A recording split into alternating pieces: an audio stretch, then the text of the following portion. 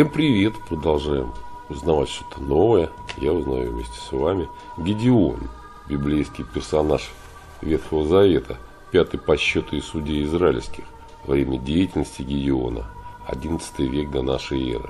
Пользуясь нравственным упадком и политической раздробленностью евреев, мадинитяне и другие сыны Востока предпринимали против них нашествие из года в год. Явился Гедеон, отважный воин, Два старших брата его погибли в борьбе с врагами Израиля. Получив высшее призвание к избавлению народа, Гедеон с небольшим отрядом из 300 воинов сделал удачное ночное нападение на мадонитян, которых было как саранча.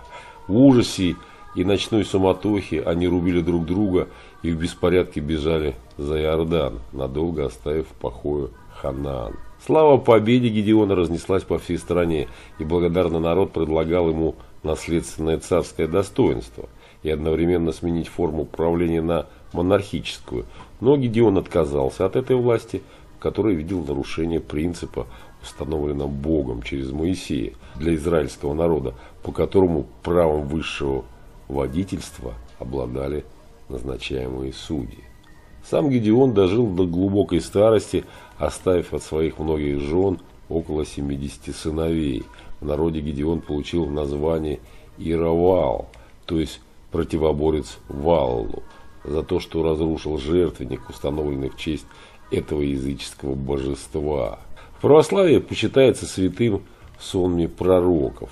Память совершается 26 сентября по юлианскому календарю или 9 по григорианскому. Росписи, посвященные Гедеону, имелись в средней золотой палате Кремля. Вот так вкратце, пользуясь Википедией, о Гедеоне, библейском персонаже Ветхого Завета. Пока-пока, до свидания.